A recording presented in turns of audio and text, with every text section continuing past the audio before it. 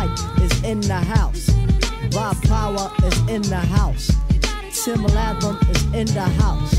Wise Men is in the house. The Brand Nubians is in the house. The JBs, they in the house. And J Lock, they in the house.